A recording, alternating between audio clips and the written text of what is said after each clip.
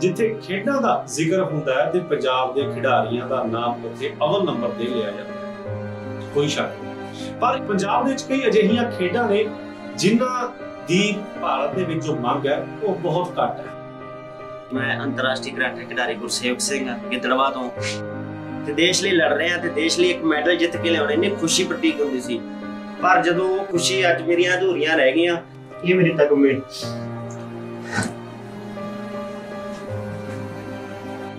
ਇਹ ਤਕਰੀਬਨ 3 ਦਰਜਨ ਮੈਡਲ ਨੇ ਜਿਹੜੇ ਪਿੱਛੇ ਟੰਗੇ ਹੋਏ ਨੇ। ਇਹਨਾਂ ਮੈਡਲਾਂ ਦੇ ਨਾ ਹੁਣ ਤਾਂ ਰੰਗ ਵੀ ਲੈ ਚੁੱਕੇ ਨੇ ਤੇ ਹੁਣ ਸਾਰੇ ਇੱਕੋ ਜਿਹੇ ਲੱਗਦੇ ਨੇ।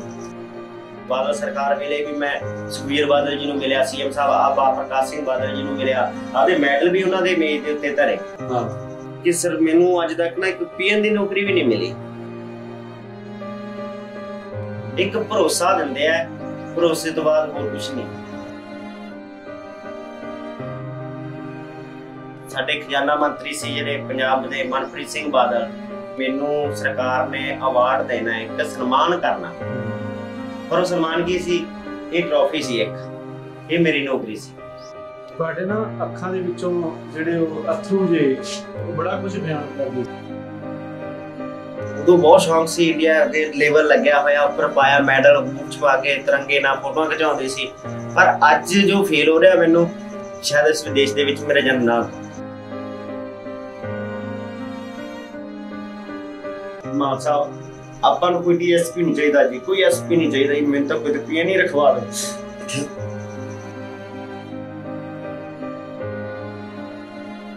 ਟੀਵੀ ਪੰਜਾਬ ਦੇਖ ਰਹੇ ਸਾਰੇ ਦਰਸ਼ਕਾਂ ਦਾ, ਮੈਂ ਮਨਦੀਪ ਬਹੁਤ ਬਹੁਤ ਸਵਾਗਤ ਕਰਦਾ। ਸੋ ਦੋਸਤੋ, ਮੇਰੇ ਪਿੱਛੇ ਪਏ ਮੈਡਲ ਤੇ ਟਰੋਫੀ ਵੇਖ ਕੇ ਇੱਕ ਗੱਲ ਤੁਸੀਂ ਸਮਝ ਚੁੱਕੇ ਹੋਵੋਗੇ ਕਿ ਮੈਂ ਕਿਸੇ ਇੱਕ ਵੱਡੇ ਖਿਡਾਰੀ ਦੇ ਘਰ ਬੈਠਾ। ਗੱਲ ਵੀ ਸਹੀ ਹੈ। ਇੱਕ ਮਹਾਨ ਖਿਡਾਰੀ ਦੇ ਘਰੇ ਬੈਠਾ, ਪਰ ਜਿਸ ਮਹਾਨ ਖਿਡਾਰੀ ਦੀ ਛਵੀ ਤੁਹਾਡੇ ਮਨ ਦੇ ਵਿੱਚ ਹੁਣ ਛਪੀ ਹੋਊਗੀ, ਉਸ ਮਹਾਨ ਖਿਡਾਰੀ ਤੇ ਇਸ ਮਹਾਨ ਖਿਡਾਰੀ ਦੇ ਵਿੱਚ ਜ਼ਮੀਨ ਅਸਮਾਨ ਦਾ ਫ਼ਰਕ ਹੈ। ਕਿਉਂਕਿ ਅਸੀਂ ਜਿਹੜੇ ਖਿਡਾਰੀਆਂ ਦੀ ਜਿਹੜੀ ਉਚਾਈ ਹੈ, ਜਿਹੜਾ ਕੱਦ ਆ ਉਹਨਾਂ ਦਾ, ਉਹ ਕਿਤੇ ਨਾ ਕਿਤੇ ਪੈਸਿਆਂ ਦੇ ਨਾਲ ਤੋਲ ਬੈਠਦੇ ਹਨ। ਇਹ ਗੱਲ ਪੰਜਾਬ ਵਿੱਚ ਆਖੀ ਜਾਂਦੀ ਹੈ ਕਿ ਜਿੱਥੇ ਖੇਡਾਂ ਦਾ ਜ਼ਿਕਰ ਹੁੰਦਾ ਹੈ, ਤੇ ਪੰਜਾਬ ਦੇ ਖਿਡਾਰੀਆਂ ਦਾ ਨਾਮ ਉੱਥੇ ਅਵਲ ਨੰਬਰ ਤੇ ਲਿਆ ਜਾਂਦਾ ਹੈ। ਕੋਈ ਸ਼ੱਕ ਨਹੀਂ। ਪਰ ਇਸ ਦੇ ਨਾਲ ਦੂਸਰਾ ਪੱਖ ਪੰਜਾਬ ਦੇ ਖਿਡਾਰੀਆਂ ਦਾ ਇੱਕ ਹੋਰ ਹੈ। ਪੰਜਾਬ ਦੇ ਵਿੱਚ ਕਈ ਅਜਿਹੀਆਂ ਖੇਡਾਂ ਨੇ ਜਿਨ੍ਹਾਂ ਦੀ ਜਿ- ਭਾਰਤ ਦੇ ਵਿੱਚ ਜੋ ਮੰਗ ਹੈ, ਉਹ ਬਹੁਤ ਘੱਟ ਹੈ। ਉਹਨਾਂ ਦੇ ਖਿਡਾਰੀ ਵੀ ਬਹੁਤ ਘੱਟ ਨੇ। ਪਰ ਉਹਨਾਂ ਖਿਡਾਰੀਆਂ ਦੀ ਜੋ ਆਰਥਿਕ ਸਥਿਤੀ ਹੈ, ਉਹ ਬੜੀ ਹੀ ਤਰਸਯੋਗ ਬਣੀ ਹੋਈ ਹੈ। ਪਰ ਉਹਨਾਂ ਨੇ ਦੇਸ਼ ਦੇ ਨਾਮ ਕਈ ਮੈਡਲ ਕੀਤੇ ਨੇ। ਜਿਵੇਂ ਤੁਸੀਂ ਮੇਰੇ ਪਿੱਛੇ ਦੇਖ ਰਹੇ ਹੋ। ਤਕਰੀਬਨ ਤਕਰੀਬਨ 3 ਦਰਜਨ ਮੈਡਲ ਇਸ ਖਿਡਾਰੀ ਨੇ ਜਿੱਤੇ ਨੇ। ਤੇ ਟਰਾਫੀਆਂ ਦੇ ਢੇਰ ਇਸ ਘਰੇ ਲੱਗੇ ਨੇ। ਪਰ ਹਾਲਾਤ ਕੁਝ ਇਹ ਨੇ ਕਿ ਜਿਹੜਾ ਇਹ ਖਿਡਾਰੀ ਆ ਉਸ ਨੂੰ ਫਲੈਕਸ ਬੋਰਡ ਲਾ ਕੇ ਆਪਦੀ ਜ਼ਿੰਦਗੀ ਦਾ ਗੁਜ਼ਾਰਾ ਕਰਨਾ ਪੈ ਰਿਹਾ। ਮੈਂ ਗਿੱਦੜਵਾਹਾ ਸ਼ਹਿਰ ਦੇ ਵਿੱਚ ਹਾਂ ਤੇ ਇਸ ਸ਼ਹਿਰ ਦੇ ਵਿੱਚ ਗੁਰਸੇਵਕ ਸਿੰਘ ਨਾਮ ਦਾ ਇੱਕ ਕਰਾਟਿਆਂ ਦਾ ਖਿਡਾਰੀ ਹੈ ਜਿਸ ਦੇ ਨਾਲ ਤੁਹਾਨੂੰ ਅੱਜ ਰੂਬਰੂ ਕਰਨ ਜਾ ਰਹੇ। ਹਾਂ ਆਓ ਸਭ ਤੋਂ ਪਹਿਲਾਂ ਸਵਾਗਤ ਕਰਦੇ ਹਾਂ ਕਰਾਟਿਆਂ ਦੇ ਖਿਡਾਰੀ ਗੁਰਸੇਵਕ ਸਿੰਘ ਦਾ। ਸਤਿ ਸ਼੍ਰੀ ਅਕਾਲ ਬਾਈ ਜੀ। ਹੋ ਠੀਕ ਠਾਕ ਹੋ? ਜ਼ਿੰਦਗੀ ਕਿਵੇਂ ਚੱਲ ਰਹੀ ਹੈ ਬਸ ਚੱਲੀ ਜਾਂਦੀ ਸੀ ਜ਼ਿੰਦਗੀ, ਮਿਹਨਤ, ਮਜ਼ਦੂਰੀ ਕਰਕੇ। ਜਿਸ ਦੇਸ਼ ਦੇ ਲਈ ਇੰਨੇ ਮੈਡਲ ਲੈ ਕੇ ਆਇਆ, ਉਹ ਕਹਿੰਦਾ ਖਿਡਾਰੀਆਂ ਨੂੰ ਸ਼ੋਹਰਤ ਦਿੰਦਾ ਆ ਦਿੰਦਾ। ਮੈਨੂੰ ਤਾਂ ਸਿਰਫ ਇੱਕ ਨਾਮ ਮਿਲਿਆ ਕਿ ਅੰਤਰਰਾਸ਼ਟਰੀ ਖਿਡਾਰੀ ਦਾ, ਕਿ ਮੈਂ ਅੰਤਰਰਾਸ਼ਟਰੀ ਕਰਾਟੇ ਖਿਡਾਰੀ ਗੁਰਸੇਵਕ ਸਿੰਘ ਗਿੱਦੜਵਾ ਤੋਂ। ਤੇ ਪਰ ਇਹਨਾਂ ਮੈਡਲਾਂ ਦੇ ਨਾਲ ਮੇਰਾ ਘਰ ਦਾ ਗੁਜ਼ਾਰਾ ਨਹੀਂ ਚੱਲਦਾ ਜਾਂ ਮੇਰੀ ਜ਼ਿੰਦਗੀ ਦਾ ਗੁਜ਼ਾਰਾ ਨਹੀਂ ਚੱਲਦਾ। ਮੇਰੇ ਦੋ ਬੱਚੀਆਂ ਨੇ, ਇੱਕ ਛੋਟਾ ਜਿਹਾ ਲੜਕਾ। ਪਰ ਅੱਜ ਜੋ ਮੈਂ ਕੰਮ ਕਰ ਰਿਹਾ ਮੈਨੂੰ ਆਪਣੇ ਆਪ ਨੂੰ ਵੀ ਫੀਲ ਹੁੰਦਾ ਕਿ ਜਦੋਂ ਮੈਂ ਕਿਤੇ ਫਲੈਕਸ ਬੋਰਡ ਜਾਂ ਪੇਪਰ ਵੰਡਦਾ ਜਾਂ ਘਰ ਦੇ ਘਰ ਦੇ ਵਿੱਚ ਜਾ ਕੇ ਡਿਸਪਿਊਟ ਕਰਦਾ ਤਾਂ ਉਦੋਂ ਬੜਾ ਮਨ ਦੁਖੀ ਹੁੰਦਾਗਾ ਮੈਨੂੰ ਲੋਕ ਵੀ ਕਹਿੰਦੇ ਆ ਕਿ ਯਾਰ ਤੂੰ ਏਡਾ ਵੱਡਾ ਖਿਡਾਰੀ ਆ ਪਰ ਮੈਂ ਆਪਦੀ ਅੰਦਰਲੀ ਗੱਲ ਕਿਸ ਨੂੰ ਦੱਸਾਂ? ਜਿਹੜੇ ਆ ਮੈਡਲ ਪਿੱਛੇ ਪਏ ਨੇ ਇਹਨਾਂ ਦੇ ਵਿੱਚੋਂ 100 ਤਗਮੇ ਕਿੰਨੇ ਕੁ ਨੇ? 13 ਇੰਟਰਨੈਸ਼ਨਲ ਮੈਡਲ ਹੈ ਜੀ ਮੇਰੇ। ਮਲੇਸ਼ੀਆ 2018 ਦੇ ਵਿੱਚ ਮਲੇਸ਼ੀਆ ਥਾਈਲੈਂਡ ਦੇ ਵਿੱਚ ਲਾਸਟ ਮੈਡਲ ਸੀ ਮੇਰਾ ਵੈਟਰਨ 40 ਦੇ ਵਿੱਚ। ਜੀ। ਉਸ ਤੋਂ ਪਹਿਲਾਂ ਮੇਰੇ ਨੇਪਾਲ ਬੰਗਲਾਦੇਸ਼ ਸ਼੍ਰੀਲੰਕਾ ਤੇ ਇੰਡੀਆ ਦੇ ਵਿੱਚ ਜਿਹੜੀ ਇੰਟਰਨੈਸ਼ਨਲ ਚੈਂਪੀਅਨਸ਼ਿਪਾਂ ਹੋਈਆਂ ਨੇ ਉਹਨਾਂ ਵਿੱਚ ਵੀ ਮੈਡਲ ਨੇ 골ਡ ਮੈਡਲ ਨੇ ਮੇਰੇ। ਬੰਗਲਾਦੇਸ਼ ਦੇ ਵਿੱਚ ਮੇਰਾ ਸਿਲਵਰ ਮੈਡਲ ਹੈ। ਤੇ ਉਸ ਤੋਂ ਬਾਅਦ 16 ਨੈਸ਼ਨਲ ਲੈਵਲ ਦੇ ਮੈਡਲ ਹੈ ਜਿਹੜੇ ਦੇਸ਼ ਦੇ ਵਿੱਚ ਖੇਲੇ ਆਈਆਂ ਰਾਸ਼ਟਰਪਤੀ ਦੀਆਂ ਰਾਸ਼ਟਰਪਤੀ ਦੀਆਂ ਗੇਮਾਂ ਦੇ ਵਿੱਚ ਉਹਨਾਂ ਵਿੱਚ 16 ਮੈਡਲ ਤੁਹਾਡੇ ਨਾ ਅੱਖਾਂ ਦੇ ਵਿੱਚੋਂ ਜਿਹੜੇ ਉਹ ਅਥਰੂ ਜੇ ਕੈਮਰਾ ਆਨ ਹੋਣ ਤੋਂ ਪਹਿਲਾਂ ਜਿਹੜੇ ਆਏ ਸੀਗੇ, ਤੇ ਉਹ ਬੜਾ ਕੁਝ ਬਿਆਨ ਕਰਦੇ ਸੀ। ਤੁਸੀਂ ਕੈਮਰਾ ਆਨ ਹੋਣ ਤੋਂ ਪਹਿਲਾਂ ਇੱਕ ਮੈਨੂੰ ਗੱਲ ਆਖੀ ਸੀ ਕਿ ਜਿਹੜੇ ਇਹ ਤਕਰੀਬਨ 3 ਦਰਜਨ ਮੈਡਲ ਨੇ ਜਿਹੜੇ ਪਿੱਛੇ ਟੰਗੇ ਹੋਏ ਨੇ। ਤੁਸੀਂ ਕਿਹਾ ਕਿ ਮੇਰਾ ਇਹਨਾਂ ਨੂੰ ਵੇਖਣ ਨੂੰ ਵੀ ਨਹੀਂ ਚਿੱਤ ਕਰਦਾ। ਕੀ ਚਿੱਤ ਦੇ ਵਿੱਚ ਆਉਂਦਾ? ਦੇਖੋ ਜੀ, ਜਿਸ ਦੇਸ਼ ਲਈ ਅਸੀਂ ਖੇਡ ਰਹੇ ਆ ਇਹ ਮੇਰੇ ਤਗਮੇ।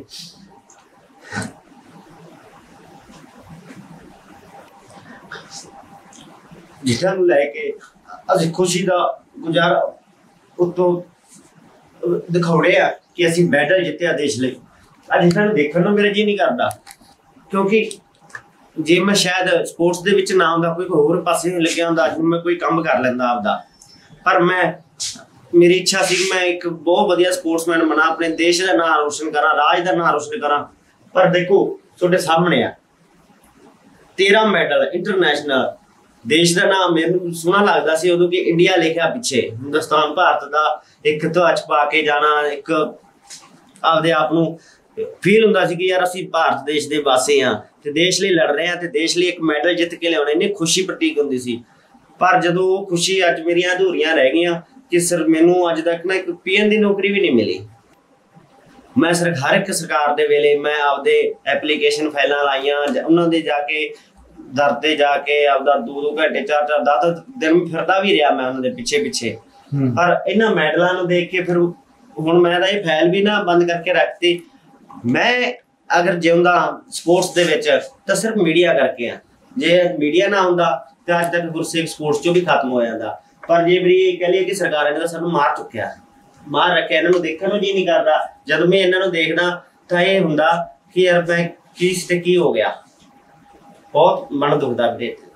ਤੇ ਗੱਲ ਤੁਸੀਂ ਨਾਲ ਇਹ ਵੀ ਹੈ ਕਿ ਤੁਸੀਂ ਸਰਕਾਰਾਂ ਦੀ ਗੱਲ ਕੀਤੀ ਹੈ। ਜਦੋਂ ਇਹ ਮੈਡਲ ਜਿੱਤੇ ਸੀ ਜਦੋਂ ਤੁਹਾਡਾ ਟੂਰਨਾਮੈਂਟ ਲਗਾਤਾਰ ਮੈਚ ਚੱਲਦੇ ਸੀ ਸਰਕਾਰਾਂ ਨੂੰ ਜਾ ਕੇ ਅਪਰੋਚ ਕੀਤੀ ਕਿ ਮੈਂ ਵੀ ਖੇਡ ਜਗਤ ਦੇ ਵਿੱਚ ਇੱਕ ਉੱਭਰਦਾ ਸਤਾਰਾ ਮੇਰੇ ਲਈ ਵੀ ਸਰਕਾਰ ਕੁਝ ਕਰੇ। ਹਾਂਜੀ। ਸਰਕਾਰ ਤਾਂ ਫਿਰ ਆਪਦੇ ਉਹ ਕਹਿੰਦੇ ਨੇ ਨਾ ਇੱਕ ਪਾਲਿਸੀ ਬਣਾਈ ਹੈ ਕਿ ਇੱਕ ਸਨਮਾਨ ਦੇ ਦੋ ਬਸ ਹੋ ਗਿਆ ਉਹਨਾਂ ਦਾ ਤੱਕ ਮਤਲਬ ਹੀ ਹੁੰਦਾ। ਆ ਤੁਹਾਡੇ ਸਾਹਮਣੇ ਪਿਆ। ਸਾਡੇ ਖਜ਼ਾਨਾ ਮੰਤਰੀ ਸੀ ਜਿਹੜੇ ਪੰਜਾਬ ਦੇ ਮਨਪ੍ਰੀਤ ਸਿੰਘ ਬਾਦਲ। ਜਦੋਂ ਮੈਂ ਭਾਰਤੀ ਟੀਮ ਚ ਗਿੱਦੜਵਾਹ ਤੋਂ ਹੀ ਆਇਆ ਸੀਗਾ ਫਸਟ ਟਾਈਮ ਤਾਂ ਇੱਥੇ ਸਨਮਾਨ ਸਮਾਰੋਹ ਹੋਇਆ ਸੀ। ਮੈਨੂੰ ਸ਼ਾਇਦ ਉਸ 2009 ਦੇ ਵਿੱਚ ਕਿ ਮੈਨੂੰ ਸਰਕਾਰ ਨੇ ਅਵਾਰਡ ਦੇਣਾ ਇੱਕ ਸਨਮਾਨ ਕਰਨਾ। ਪਰ ਉਹ ਸਨਮਾਨ ਕੀ ਸੀ? ਇਹ ਟਰੋਫੀ ਸੀ ਇੱਕ। ਇਹ ਮੇਰੀ ਨੌਕਰੀ ਸੀ। ਮਤਲਬ ਸਾਨੂੰ ਤਾਂ ਸਿਰਫ ਉੱਥੋਂ ਤੱਕ ਹੀ ਹੈ ਕਿ ਜਦੋਂ ਤੱਕ ਖਿਡਾਰੀ ਖੇਲੀ ਜਾਂਦਾ ਮੈਡਲ ਲੈ ਕੇ ਆਉਂਦਾ ਬਸ ਲੀਡਰਾਂ ਦਾ ਹੈ ਕਿ ਹਾਂ ਮੈਂ ਬਹੁਤ ਵਧੀਆ ਕੀਤਾ। ਇੱਕ ਭਰੋਸਾ ਦਿੰਦੇ ਆ ਭਰੋਸੇ ਤੋਂ ਬਾਅਦ ਹੋਰ ਕੁਝ ਨਹੀਂ। ਉਹ ਵੀ ਵਿਚਾਰਾ ਹੱਥ ਵਿਚਾਰੇ ਹੀ ਰਹਿ ਜਾਂਦਾ ਕਿ ਇਹ ਭਰੋਸਾ ਦਿੱਤਾ ਕਿ ਹਾਂ ਇਹਨਾਂ ਨੂੰ ਕੁਝ ਕਰ ਦਾਂਗੇ ਉਹ ਕਰ ਦਾਂਗੇ। ਬਾਦਲ ਸਰਕਾਰ ਵੇਲੇ ਵੀ ਮੈਂ ਸੁਖਵੀਰ ਬਾਦਲ ਜੀ ਨੂੰ ਮਿਲਿਆ ਸੀਐਮ ਸਾਹਿਬ ਆਬਾ ਪ੍ਰਕਾਸ਼ ਸਿੰਘ ਬਾਦਲ ਜੀ ਨੂੰ ਮਿਲਿਆ। ਆਦੇ ਮੈਡਲ ਵੀ ਉਹਨਾਂ ਦੇ ਮੇਜ਼ ਦੇ ਉੱਤੇ ਧਰੇ। ਹਾਂ।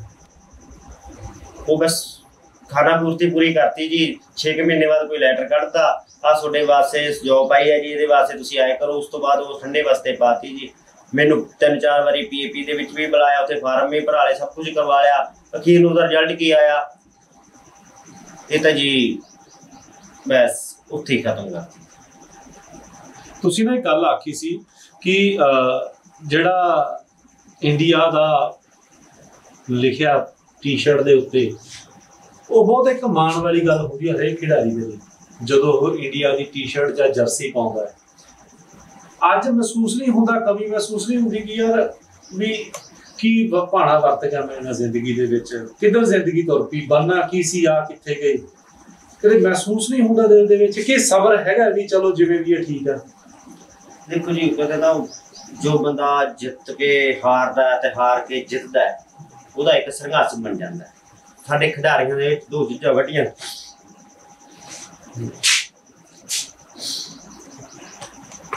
ਸਾਡੇ ਵਿੱਚ ਸਹਿਨਸ਼ੀਲਤਾ ਬਹੁਤ ਹੁੰਦੀ। ਕਿਉਂਕਿ ਸਪੋਰਟਸ ਸਾਨੂੰ ਸਹਿਨਸ਼ੀਲਤਾ ਹੀ ਸਿਖਾਉਂਦੀ ਆ ਕਿ ਚਲ ਕੋਈ ਨਹੀਂ ਜੇ ਹਾਰ ਗਿਆ ਤਾਂ ਫਿਰ ਜਿੱਤਾਂਗੇ, ਹਾਰ ਗਿਆ ਤਾਂ ਫਿਰ ਜਿੱਤਾਂਗੇ। ਜਦੋਂ ਕੋਈ ਖਿਡਾਰੀ ਇੰਟਰਨੈਸ਼ਨਲ ਲੈਵਲ ਤੇ ਜਾਂਦਾ, ਤਾਂ ਉਸਦੇ ਜ਼ਿੰਮੇਵਾਰੀਆਂ ਵੀ ਇਹ ਹੋ ਕਿ ਆਪਣੇ ਦੇਸ਼ ਪ੍ਰਤੀ ਬਹੁਤ ਪਿਆਰ ਹੋ ਜਾਂਦਾ ਉਹਨੂੰ। ਤਾਂ ਹੀ ਤਾਂ ਇੰਡੀਆ ਕਿੱਟ ਪਾਉਣ ਨੂੰ ਹਰੇਕ ਖਿਡਾਰੀ ਚਾਹੁੰਦਾ ਕਿ ਮੈਂ ਇੰਟਰਨੈਸ਼ਨਲ ਖੇਡਾਂ। ਹਾਂ, ਉਹ- ਉਦੋਂ ਬਹੁਤ ਸ਼ੌਂਕ ਸੀ ਇੰਡੀਆ ਦੇ ਲੈਵਲ ਲੱਗਿਆ ਹੋਇਆ, ਉੱਪਰ ਪਾਇਆ ਮੈਡਲ ਮੂੰਹ ਚ ਪਾ ਕੇ ਤਿਰੰਗੇ ਨਾਲ ਫੋਟੋਆਂ ਖਿਚਾਉਂਦੇ ਸੀ। ਪਰ ਅੱਜ ਜੋ ਫੀਲ ਹੋ ਰਿਹਾ ਮੈਨੂੰ ਕਿ ਸ਼ਾਇਦ ਇੱਥੇ ਮੇਰਾ ਕਹਿਣਾ ਵੀ ਬਣਦਾ ਕਿ ਸ਼ਾਇਦ ਇਸ ਵਿਦੇਸ਼ ਦੇ ਵਿੱਚ ਮੇਰਾ ਜਨਮ ਨਾ ਕਿਤੇ ਹੋਰ ਦੇਸ਼ ਚੁਣਦਾ ਹੁੰਦਾ ਕੁਝ ਤਾਂ ਮਿਲਦਾ ਨਾ। ਕੋਈ ਕਮ ਸੇ ਕਮ ਖਿਡਾਰੀਆਂ ਦੇ ਪ੍ਰਤੀ ਜਿਹੜਾ ਸਾਡਾ ਵਤੀਰਾ ਹੈ ਗਵਰਨਮੈਂਟਾਂ ਦਾ ਜਾਂ ਉਹ, ਕਿ ਉਹ ਬਿਲਕੁਲ ਖਤਮ ਕਰੀ ਬੈਠੀਆਂ ਨੇ। ਇੱਕ ਸਿਰਫ ਪੈਸੇ ਵਾਲਾ ਖਿਡਾਰੀ ਉੱਪਰ ਹੈ ਜਿਹੜੇ ਗਰੀਬ ਲੈਵਲ ਦੇ ਖਿਡਾਰੀ ਨੇ ਇੱਕ ਇੱਥੇ ਗੱਲ ਹੋਰ ਵੀ ਪੈਂਦੀ ਆ ਵੀ ਜੀ ਕਿ ਜਿਹੜੇ ਖਿਡਾਰੀ ਹੁੰਦੇ ਆ ਇਹ ਸਿਰਫ ਛੋਟੇ ਘਰਾਂ ਦੇ ਹੁੰਦੇ ਨੇ ਜ਼ਿਆਦਾ। ਗਰੀਬੀ ਦੇ ਵਿੱਚੋਂ ਕਿਉਂਕਿ ਸਾਡਾ ਸੁਪਨਾ ਹੁੰਦਾ ਹੈ ਕਿ ਅਸੀਂ ਸਪੋਰਟਸ ਕਰਾਂਗੇ ਕੋਈ ਚੰਗੀ ਨੌਕਰੀ ਮਿਲੂਗੀ ਸਾਨੂੰ ਅਸੀਂ ਆਪਦੇ ਜਿਹੜਾ ਘਰ ਦਾ ਗੁਜ਼ਾਰਾ ਕਰਾਂਗੇ। ਪਰ ਇਹ ਸੁਪਨੇ ਉਦੋਂ ਮੇਰੇ ਖਤਮ ਹੋ ਗਏ ਜਦੋਂ ਇਹਨਾਂ ਨੂੰ ਦੇਖਦਾ ਹੈ ਕਿ ਯਾਰ ਇੰਨੇ ਮੈਡਲ ਜਿੱਤ ਕੇ ਵੀ ਜੇ ਰੁਜ਼ਗਾਰ ਹੀ ਨਹੀਂ ਮਿਲਿਆ ਤਾਂ ਫਿਰ ਸਪੋਰਟਸ ਕਿਸ ਕੰਮ ਦੀ? ਅਹ ਮੈਂ ਨਾ ਦੋਸਤੋ ਜਦੋਂ ਬਾਈ ਜੀ ਦੇ ਮੈਡਲ ਸਾਰੇ ਮੈਂ ਵੇਖ ਰਿਹਾ ਸੀ ਤੇ ਮੈਂ ਉਹਨੂੰ ਸਵਾਲ ਕੀਤਾ, ਮੈਂ ਕਿਹਾ ਵੀ ਇਹਨਾਂ ਮੈਡਲਾਂ ਦੇ ਵਿੱਚੋਂ 골ਡ ਮੈਡਲ ਕਿਹੜੇ ਨੇ? ਤਾਂ ਇਹਨਾਂ ਨੇ ਇੱਕ ਗੱਲ ਆਖੀ ਤੇ ਉਸ ਗੱਲ ਦੇ ਵਿੱਚ ਬਹੁਤ ਕੁਝ ਇਹਨਾਂ ਨੇ ਬਿਆਨ ਕਰਤਾ। ਬਾਈ ਨੇ ਆਖਿਆ ਕਿ ਇਹਨਾਂ ਮੈਡਲਾਂ ਦੇ ਨਾ ਹੁਣ ਤਾਂ ਰੰਗ ਵੀ ਲੈ ਚੁੱਕੇ ਨੇ। ਰੰਗ ਲੈ ਚੁੱਕੇ ਨੇ ਤੇ ਹੁਣ ਸਾਰੇ ਇੱਕੋ ਜਿੱਕੇ ਲੱਗਦੇ ਨੇ। ਮੈਨੂੰ ਲੱਗਦਾ ਪੰਜਾਬ ਦੇ ਖਿਡਾਰੀ ਜਾਂ ਇਸ ਦੇਸ਼ ਦੇ ਖਿਡਾਰੀ, ਉਹਨਾਂ ਦਾ ਵੀ ਕੁਝ ਇਹੀ ਸਿਲਸਿਲਾ ਹੈ। ਜਦੋਂ ਖੇਡ ਖੇਡਦੇ ਨੇ, ਬਹੁਤ ਸੋਹਣਾ ਰੰਗ ਹੁੰਦਾ ਪਰ ਇਹੋ ਜਿਹੇ ਕਾਰਨ ਬਣ ਜਾਂਦੇ ਨੇ ਜਿਨ੍ਹਾਂ ਕਰਕੇ ਜਿਹੜਾ ਇਹਨਾਂ ਦੇ ਉੱਤੋਂ ਉਹ ਰੰਗ ਲੈਣਾ ਸ਼ੁਰੂ ਹੋ ਜਾਂਦਾ ਹੈ, ਮਜਬੂਰੀ ਦੇ ਵਿੱਚ। ਕਿਉਂਕਿ ਬੰਨਾ ਕੁਝ ਹੋਰ ਚਾਹੁੰਦੇ ਨੇ, ਪਰ ਪਹੁੰਚ ਕਿਤੇ ਹੋਰ ਜਾਂਦੇ ਨੇ। ਸੋ ਆਪਾਂ ਜੇ ਇਸੇ ਗੱਲ ਨੂੰ ਅੱਗੇ ਵਧਾਈਏ ਬਾਈ, ਸਪੋਰਟਸ ਜਦੋਂ ਤੁਸੀਂ ਖੇਡਦੇ ਸੀਗੇ, ਮਹਿਸੂਸ ਨਹੀਂ ਹੁੰਦਾ ਕਿ ਯਾਰ ਮੈਂ ਜਿੱਥੇ ਇਸੇ ਮੁਲਕ ਦੇ ਵਿੱਚ ਕ੍ਰਿਕਟ ਨੂੰ ਜਾਂ ਹਾਕੀ ਨੂੰ ਵੱਡੀਆਂ ਖੇਡਾਂ ਨੇ ਜਿਹੜੀਆਂ ਜਿਨ੍ਹਾਂ ਕੋਲ ਪੈਸਾ ਬਹੁਤ ਹੈ। ਵੀ ਯਾਰ ਮੈਂ ਗਲਤੀ ਕਰ ਲਈ ਮੈਂ ਉਹਨਾਂ ਨੂੰ ਨਹੀਂ ਚੁਣਿਆ। ਮੈਂ ਉਹ ਕਰਾਟੇ ਚੁਣ ਲਈ। ਮਹਿਸੂਸ ਹੁੰਦਾ ਕਦੇ ਇਹੋ ਜਿਹਾ ਦਿਲ ਦੇ ਵਿੱਚ ਆਉਂਦਾ? ਹਾਂਜੀ ਹੁੰਦਾ ਜੀ ਮਹਿਸੂਸ ਹੁੰਦਾ ਬਹੁਤ ਜ਼ਿਆਦਾ ਮਹਿਸੂਸ ਹੁੰਦਾ ਕਿ ਪਹਿਲਾਂ ਮੈਂ ਜਦੋਂ ਸਟਾਰਟਿੰਗ ਕੀਤੀ ਸੀ 1999 ਦੇ ਵਿੱਚ ਮੈਂ ਪਹਿਲਾਂ ਰੈਸਲਿੰਗ ਕਰਦਾ ਹੁੰਦਾ ਸੀ। ਕੁਸ਼ਤੀ ਰਾਜ ਪੱਧਰ ਤੇ ਖੇਡਿਆ ਮੈਂ ਬਾਬਾ ਕੇ ਕੁਸ਼ਤੀ ਖਾੜੇ 'ਚ ਵੀ ਰਿਹਾ। ਪਰ ਉੱਥੇ ਵੀ ਮੈਂ ਇਹੀ ਦੇਖਿਆ ਉਹ ਗੇਮਾਂ ਦਾ ਕਿ ਉੱਥੇ ਜਿਹੜਾ ਉਹ ਸੀ ਕਿ ਜਿਹੜੇ ਵੱਡੇ ਖਿਡਾਰੀ ਨੇ ਉੱਥੇ 15 15 20 20 ਸਾਲ ਦੇ ਬੈਠੇ ਨੇ ਤਾਂ ਉੱਥੇ ਸਿਰਫ ਇੱਕ ਚੀਜ਼ ਚੱਲਦੀ ਸੀ ਯਾਰ ਕਿ ਸਪਾਰਸ਼ ਵਾਲੇ ਨੂੰ ਲੈ ਕੇ ਜਾਣਾ। ਮੈਂ ਉੱਥੇ ਫਸਟ ਟਾਈਮ ਕਰਾਟੇ ਦੀ ਇੱਕ ਗੇਮ ਦੇਖੀ ਸੀ ਤੇ ਉੱਥੇ ਮੇਰੇ ਕੋਚ ਸਾਹਿਬ ਮੈਨੂੰ ਪਹਿਲੀ ਵਾਰੀ ਮਿਲੇ ਜਦੋਂ ਉਹਨਾਂ ਨਾਲ ਮੈਂ ਗੱਲ ਕੀਤੀ। ਤਾਂ ਮੇਰੀ ਇੱਛਾ ਸਭ ਤੋਂ ਵੱਡੀ ਇਹ ਸੀ ਕਿ ਵੀ ਮੈਂ ਹਾਈ ਲੈਵਲ ਤੇ ਜਾਵਾਂ ਨੈਸ਼ਨਲ ਲੈਵਲ ਤੇ ਇੰਟਰਨੈਸ਼ਨਲ ਲੈਵਲ ਤੇ। ਤਾਂ ਮੈਂ ਜਦੋਂ ਕੁਸ਼ਤੀ ਵਾਲੇ ਮੁੰਡਿਆਂ ਨਾਲ ਗੱਲਾਂ ਕਰਦਾ ਸੀ ਤਾਂ ਉਹ ਮੈਨੂੰ ਕਹਿੰਦੇ ਹੁੰਦੇ ਸੀ ਯਾਰ ਇੱਥੇ ਤਾਂ ਸਾਨੂੰ 20 ਸਾਲ ਹੋ ਗਏ ਸਾਨੂੰ ਤਾਂ ਕਦੇ ਨਾ ਨੈਸ਼ਨਲ ਦਾ ਕੈਂਪ ਵੀ ਨਹੀਂ ਲਵਾਇਆ। ਅੱਛਾ। ਫਸਟ ਟਾਈਮ ਜਦੋਂ ਮੈਂ ਕਰਾਟੇ ਦੇ ਵਿੱਚ ਐਂਟਰੀ ਹੋਈ ਤੇ ਮੈਂ ਸਟੇਟ ਖੇਡ ਕੇ ਬਾਬਾ ਗੰਗਾ ਰਾਮ ਸਟੇਡੀਅਮ ਗਿੱਦੜਬਾਹ 'ਚ ਹੋਈ ਤਾਂ ਮੇਰਾ ਯੂਪੀ ਮੋਦੀ ਨਗਰ ਦੇ ਵਿੱਚ ਪਹਿਲਾ ਇਹਨਾਂ ਦਾ ਆਲ ਇੰਡੀਆ ਟੂਰਨਾਮੈਂਟ ਸੀ। ਅੱਛਾ। ਉਹ ਮੇਰਾ ਫਸਟ ਮੈਡਲ ਸੀ ਥਰਡ ਮੈਡਲ ਅੱਛਾ। ਉਸ ਟਾਈਮ ਮੈਂ ਬ੍ਰੌਂਜ ਮੈਡਲ ਜਿੱਤਿਆ ਸੀ ਫਸਟ ਟਾਈਮ ਹੂੰ। ਉਸ ਤੋਂ ਬਾਅਦ ਮੈਨੂੰ ਇਹ ਹੋਇਆ ਕਿ ਇਹ ਗੇਮ ਦੇ ਵਿੱਚ ਉਹ ਗੱਲ ਯਾਦ ਆ ਗਈ ਮੇਰੇ ਕਿ ਅਸੀਂ 20 ਸਾਲ ਦੇ ਬੈਠੇ ਆ, ਅਸੀਂ ਤਾਂ ਕਦੇ ਨੈਸ਼ਨਲ ਨਹੀਂ ਡਾ ਮੈਂ ਉੱਥੇ 12 1300 ਬੱਚਾ ਸੀ ਜਿਹੜਾ, ਉਹਨਾਂ ਵਿੱਚ ਮੇਰਾ ਤੀਸਰਾ ਮੈਡਲ ਪੈਣਾ ਮੇਰੇ ਲਈ ਬਹੁਤ ਵੱਡੀ ਗੱਲ ਸੀ। ਉਸ ਤੋਂ ਬਾਅਦ ਜਦੋਂ ਮੈਂ ਜਿਉਂ-ਜਿਉਂ ਸ਼ੁਰੂਆਤ ਹੁੰਦੀ ਗਈ ਮੇਰੀ ਕਰਾਟੇ ਦੀ, ਪਹਿਲਾਂ ਇਹ ਫੈਡਰੇਸ਼ਨਾਂ ਸੀ, ਫੈਡਰੇਸ਼ਨਾਂ ਤੋਂ ਬਾਅਦ ਇੰਡੀਅਨ 올림픽ਸ 'ਚ ਆ ਗਏ। ਇਹਨਾਂ ਦੀ ਆਪਦੀ ਫੈਡਰੇਸ਼ਨ ਸੀ, ਗਵਰਨਮੈਂਟ ਦੀ ਜਿਹੜੀ ਅਧਾਰਾ ਸੀ ਕਰਾਟੇ ਦਾ, ਉਹ ਜੁੜ ਗਿਆ, ਆਲ ਇੰਡੀਆ ਕਰਾਟੇ ਫੈਡਰੇਸ਼ਨ। ਤਾਂ ਮੈਨੂੰ ਇਹ ਲੱਗਾ ਕਿ ਇੱਥੇ ਵੀ ਮੈਂ ਸੇਫ ਹਾਂ ਕਿ ਮੈਨੂੰ ਆਪਦੀ ਗੇਮ ਵਧੀਆ ਲੱਗੀ ਉਸ ਟਾਈਮ ਕਿ ਮੈਡਲ ਜਿੱਤ ਰਹੇ ਆ ਅਸੀਂ ਬਾਹਰ ਜਾਂਦੇ ਆ ਬਾਹਰ ਆਉਂਦੇ ਆ ਸਪਾਂਸਰ ਮਿਲਦੇ ਆ ਜਾਂਦੇ ਆ ਪੈਸੇ ਵੀ ਦਿੰਦੇ ਆ। ਪਰ ਜਦੋਂ ਕ੍ਰਿਕਟ ਵਾਲੇ ਗੇਮਾਂ ਵੱਲ ਦੇਖਦੇ ਆ ਕਿ ਸਾਡੇ ਦੇਸ਼ ਦੇ ਵਿੱਚ ਜਿਹੜੀ ਗੇਮ ਨੂੰ ਸੈਲਫ ਡਿਫੈਂਸ ਦਾ ਨਾਮ ਦਿੱਤਾ ਜਾਂਦਾ ਸਕੂਲਾਂ ਦੇ ਵਿੱਚ ਵੀ ਬੱਚਿਆਂ ਨੂੰ ਕਰਵਾਈ ਜਾਂਦੀ ਹੈ ਉਸੇ ਗੇਮ ਨਾਲ ਹੀ ਵਿਤਕਰਾ ਉਸ ਦੇ ਖਿਡਾਰੀਆਂ ਨੂੰ ਨਹੀਂ ਦੇਖਿਆ ਜਾ ਰਿਹਾ। ਵੱਡੀ ਗੱਲ ਤਾਂ ਇਹ ਹੈ ਕਿ ਜਿਹੜਾ ਤਾਂ ਸਾਡਾ ਰੋਜ਼ਾਨਾ ਦਾ ਜ਼ਿੰਦਗੀ ਦਾ ਕਿ ਸਾਸੀ ਆਪ ਦਾ ਸੈਲਫ ਡਿਫੈਂਸ ਆਪ ਕਰ ਸਕਦੇ ਕ੍ਰਿਕਟ ਦੇ ਵਿੱਚ ਨਹੀਂ ਕਰ ਸਕਦੇ। ਅਸੀਂ ਬੈਟਿੰਗ 24 ਘੰਟੇ ਨਾਲ ਰੱਖ ਸਕਦੇ। ਪਰ ਸਾਡੀ ਜਿਹੜੀ ਗੇਮ ਸੀ ਕਰਾਟੇ ਉਹਨੂੰ ਸਰਕਾਰ ਗਵਰਨਮੈਂਟ ਨੇ ਹੀ ਅਖੋਲੇ ਕਰਤਾ। ਜਦੋਂ ਕਿ ਇਹਦੇ ਵਿੱਚ ਮੈਡਲ ਕਾਮਨਵੈਲਥ ਦੇ ਵਿੱਚ ਵੀ ਸਾਡੇ ਪਲੇਅਰਾਂ ਦੇ ਮੈਡਲ। ਜੀ। ਮੈਂ ਖੁਦ 3 ਸਾਲ ਇੰਡੀਆ ਟੀਮ ਦਾ ਕਪਤਾਨ ਰਿਹਾ। ਮੈਂ ਫਸਟ ਟਾਈਮ ਜਦੋਂ ਗਿਆ ਸੀ ਫਸਟ ਟਾਈਮ ਮੇਰਾ 골ਡ ਮੈਡਲ ਆਇਆ ਉਸ ਤੋਂ। ਬਾਅਦ ਲਗਾਤਾਰ ਪੰਜਾਬ ਦੇ ਵਿੱਚ ਚੱਲਦੇ ਹੋਏ ਕਾਫੀ ਮੇਰੀਆਂ ਲੜਕੀਆਂ ਜਿਹੜੀਆਂ ਸਪੋਰਟਸ ਮੇਰੇ ਕੋਲੇ ਕਰਾਟੇ ਕਰਦੀਆਂ ਸੀ ਅੱਜ ਸ਼ਾਇਦ ਤੁਸੀਂ ਵੀ ਨਾਮ ਸੁਣਿਆ ਹੋਊਗਾ ਹਰਦੀਪ ਕੌਰ ਗੁਰਨੇ ਜੋ ਚੰਨੀ ਸਰਕਾਰ ਵੇਲੇ ਹੁਣੀ ਲਾਈ ਗਈ ਹੈ।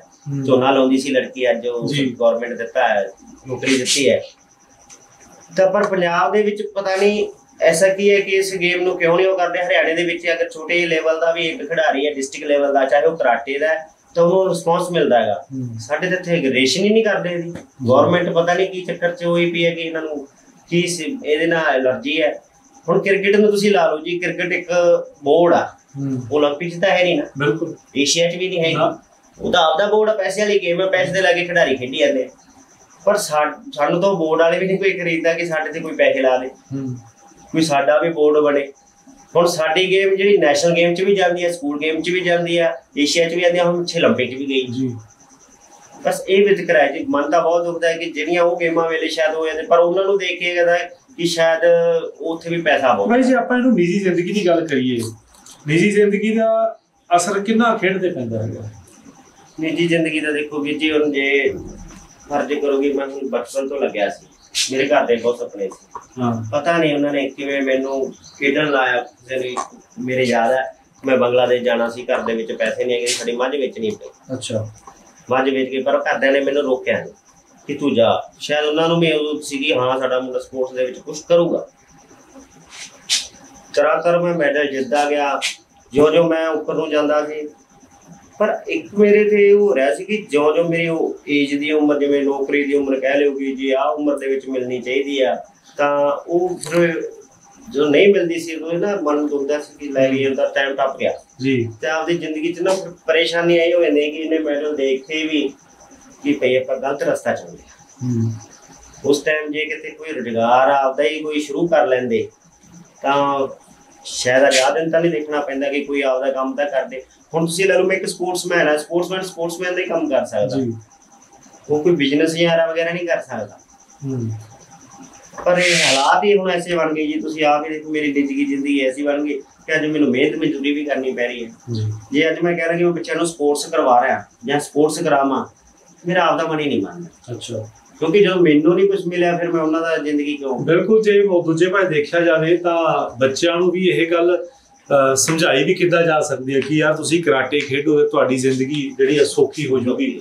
ਬਿਲਕੁਲ ਤੁਹਾਡੀ ਗੱਲ ਸਹੀ ਆ ਪਰ ਇਹਦੇ ਨਾਲ ਆਪਾਂ ਹੁਣ ਜੇ ਨਵੀਂ ਨਿੱਜੀ ਜ਼ਿੰਦਗੀ ਤੇ ਆਉਨੇ ਆ ਕਿ ਹੁਣ ਗੁਜ਼ਾਰਾ ਜਿਹੜਾ ਹੈਗਾ ਉਹ ਕਿਵੇਂ ਚੱਲ ਰਿਹਾ ਗੁਜ਼ਾਰਾ? ਪਿਛਲੇ ਜਿਵੇਂ ਸਰਕਾਰਾਂ ਦੇ ਸਮੇਂ ਨਾ ਜੀ ਸਾਡੇ ਇੱਕ ਸਕੂਲਾਂ ਦੇ ਵਿੱਚ ਗ੍ਰਾਂਟ ਆਉਂਦੀ ਹੈ ਰਮਸਾ ਦੀ।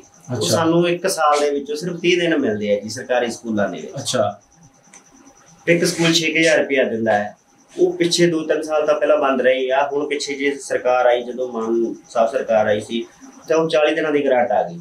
ਪਰ ਉਹਦੇ ਵਿੱਚ ਵੀ ਇਹ ਹੋਇਆ ਜੀ ਕਿ ਜੇ ਸਾਡੇ 10 ਦਿਨਾਂ ਦਾ ਇੱਕ ਦਿਨ ਜੇ ਜਾਂਦੇ ਆ ਵਰਕਿੰਗ ਡੇ ਲੱਗਦਾ। ਉਹ ਹੁਣ ਇੱਕ ਸਾਲ ਦੇ ਪੈਸੇ ਸਾਨੂੰ ਇੱਕ ਮਹੀਨੇ 'ਚ ਹੀ ਦਿੰਦੇ 40 ਦਿਨ ਸਾਡੇ 3 ਮਹੀਨਿਆਂ 'ਚ ਪੂਰੇ ਹੁੰਦੇ ਆ। ਉਦੋਂ ਤਾਂ ਇਹ ਕੰਮ ਚੱਲੀ ਜਾਂਦੇ ਹੁਣ ਸਰਕਾਰ ਨੇ ਉਹ ਵੀ ਬੰਦ ਕਰਤਾ ਹੈ। ਅੱਛਾ ਜੀ। ਸਕੂਲਾਂ ਦੇ ਵਿੱਚੋਂ ਬੰਦ ਹੋ ਗਿਆ। ਹੁਣ ਮੈਂ ਇਹ ਕਰੂਗੀ ਘਰ ਦੇ ਗੁਜ਼ਾਰੇ ਦੇ ਲਈ ਜਿਵੇਂ ਬਾਲ ਪੇਪਰ ਹੋ ਗਿਆ ਫਲੈਕਸ ਹੋ ਗਿਆ ਘਰਾਂ ਦੇ ਵਿੱਚ ਜਾਂ ਕਿਸੇ ਦੇ ਪੈਪਲੇਟ ਵੰਡਣੇ ਆ ਘਰਾਂ ਦੇ ਘਰ ਵਿੱਚ ਜਾ ਕੇ ਤਾਂ ਉਹਦੇ ਨਾਲ ਟਾਈਮ ਪਾਸ ਕਰੀਦਾ ਜੀ। ਸਕੂਲਾਂ ਵਿੱਚ ਵੀ ਮੈਂ ਬਹੁਤ ਟਰਾਈ ਕੀਤਾ ਹੈ, ਪਰ ਸਕੂਲ ਉਸ ਹਿਸਾਬ ਦੀ ਪੇ ਨਹੀਂ ਦੇ ਰਹੇ। ਕੋਈ 4000 5000 ਇਸ ਨਾਲ ਤਾਂ ਇਹ ਲਾ ਲਓ ਕਿ ਜੇ ਮੈਨੂੰ ਦੂਰ ਨੇੜੇ ਵੀ ਮਿਲਦੀ ਹੈ ਮੇਰੀ ਬੀਪੀ ਹੈਗੀ ਬੀਪੀ ਬੀਪੀਐਡ ਹੈ ਹੂੰ। ਫਿਜ਼ੀਕਲ ਦੇ ਵਿੱਚ ਵੀ ਅੱਛਾ। ਤੇ ਪਰ ਹੁਣ ਇਸ ਟਾਈਮ ਇਹ ਹੈ ਕਿ ਵੀ ਉੱਧਰ ਜੇ ਨਾਲੋਂ ਕਿ ਮੈਂ ਆਪਦਾ ਕੰਮ ਕਰਨਾ ਜੇ ਸਵੇਰ ਜਾਣਾ ਸ਼ਾਮ ਨੂੰ ਬੱਚਿਆਂ ਲਈ ਕੋਈ ਰਾਸ਼ਨ ਲੈ ਕੇ ਆਉਣਾ ਕਿਉਂਕਿ ਜਿ- ਕਹਿ ਦਿੰਦੇ ਆ ਨਾ ਕਿ ਸਵੇਰ ਉੱਠ ਕੇ ਬਸ ਸ਼ਾਮ ਨੂੰ ਬੱਚਿਆਂ ਨੂੰ ਇਹ ਹੈ ਕਿ ਭੁੱਖੇ ਨਹੀਂ ਸੌਣਾ। ਹੂੰ। ਆਪਦੀ ਮਿਹਨਤ ਕਰਕੇ ਜਿੰਨਾ ਵੀ ਹੈ ਮੈਂ ਤੁਰਿਆ ਫਿਰਦਾ ਭੱਜਿਆ ਫਿਰਦਾ ਜਿੱਥੇ ਮੈਨੂੰ ਕੋਈ ਬੜਾ ਆਸਰਾ ਮਿਲਦਾ ਇੱਥੇ ਕੁਛ ਤੁਹਾਨੂੰ ਕੁਛ ਹੈਲਪ ਹੋ ਜੂਗੀ। ਮੈਂ ਬਹੁਤ ਕੋਸ਼ਿਸ਼ ਕਰਦਾ ਕਿ ਇਹਨੂੰ ਮਿਲਾਂ ਮੰਤਰੀਆਂ ਨੂੰ ਮਿਲਾਂ ਪਰ ਸਭ ਤੋਂ ਵੱਡੀ ਇਹ ਹੈ ਕਿ ਹਾਲਤ ਹੀ ਐਸੀ ਹੈ ਜੀ ਕਿ ਮੇਰੇ ਕੋਲ ਤਾਂ ਅੱਜ ਟੈਪ ਕਰਾਉਣ ਨੂੰ ਪੈਸੇ ਵੀ ਹੈ ਨਹੀਂ ਜੇ ਮਾਨ ਸਾਹਿਬ ਨੂੰ ਮੈਂ ਐਪਲੀਕੇਸ਼ਨ ਭੇਜਾਂ। ਇਹ ਹਕੀਕਤ ਹੈ ਜੀ। ਜਿਹੜੇ ਨਾ ਪਿੱਛੇ ਜੇ ਹੁਣ ਤੁਸੀਂ ਵੀ ਖਬਰ ਸੁਣੀ ਹੋਣੀ ਹੈਗੀ ਹੈ ਵੀ ਇੱਕ ਜਿਹੜੇ ਖਿਡਾਰੀ ਸੀਗਾ ਉਹਨੂੰ ਸਰਕਾਰੀ ਨੌਕਰੀ ਜਿਹੜੀ ਹੈਗੀ ਸਰਕਾਰ ਵੱਲੋਂ ਦਿੱਤੀ ਗਈ। ਤੇ ਕੀ ਹਾਂ ਫਰੀਦਕੋਟ ਤੋਂ। ਤੇ ਕੀ ਤੁਹਾਨੂੰ ਤੁਸੀਂ ਮੰਗ ਕਰਦੇ ਹੋ ਕਿ ਕੋਈ ਨੌਕਰੀ ਦਾ ਪ੍ਰਬੰਧ ਕੀਤਾ ਜਾਵੇ ਸਰਕਾਰ ਵੱਲੋਂ? ਕਿਉਂਕਿ ਜਿਹੜੇ ਆ ਮੈਡਲ ਜਿਹੜੇ ਹੈਗੇ ਆ ਸਾਰੇ ਇਹ ਦੇਸ਼ ਦੇ ਨਾਮ ਹੀ ਹੋਏ ਨੇ। ਬੇਸ਼ੱਕ ਘਰੇ ਤੁਹਾਡੇ ਪਏ ਨੇ ਪਰ ਨਾਂ ਤਾਂ ਰੋਸ਼ਨ ਦੇਸ਼ ਦਾ ਹੋਇਆ ਯੋਗਦਾਨ ਤਾਂ ਤੁਸੀਂ ਦੇਸ਼ ਦੀ ਖੇਡ ਦੇ ਵਿੱਚ ਪਾਇਆ। ਤੇ ਕੀ ਸਰਕਾਰ ਨੂੰ ਇਹ ਤੁਸੀਂ ਮੰਗ ਕਰਦੇ ਹੋ ਕਿ ਕੋਈ ਨੌਕਰੀ ਦਾ ਪ੍ਰਬੰਧ ਜਾਂ ਕੋਈ ਕੋਈ ਇਹੋ ਜਿਹਾ ਰੋਜ਼ਗਾਰ ਦਾ ਪ੍ਰਬੰਧ ਤੁਹਾਡੇ ਲਈ ਕੀਤਾ ਜਾਵੇ? ਹਾਂਜੀ, ਮੈਂ ਤਾਂ ਪਿਛਲੇ 21 ਸਾਲਾਂ ਤੋਂ ਹੀ ਮੰਗ ਕਰਦਾ ਆ ਰਿਹਾ। ਪਰ ਅੱਜ ਤੱਕ ਕਿਸੇ ਸਰਕਾਰਾਂ ਨੇ ਸੁਣਿਆ ਨਹੀਂ। ਪਰ ਆ ਜਿਹੜੀ ਆਪ ਦੀ ਸਰਕਾਰ ਹੈ ਮਾਨ ਸਾਹਿਬ ਦੀ ਸਰਕਾਰ ਹੈ ਸ਼ਾਇਦ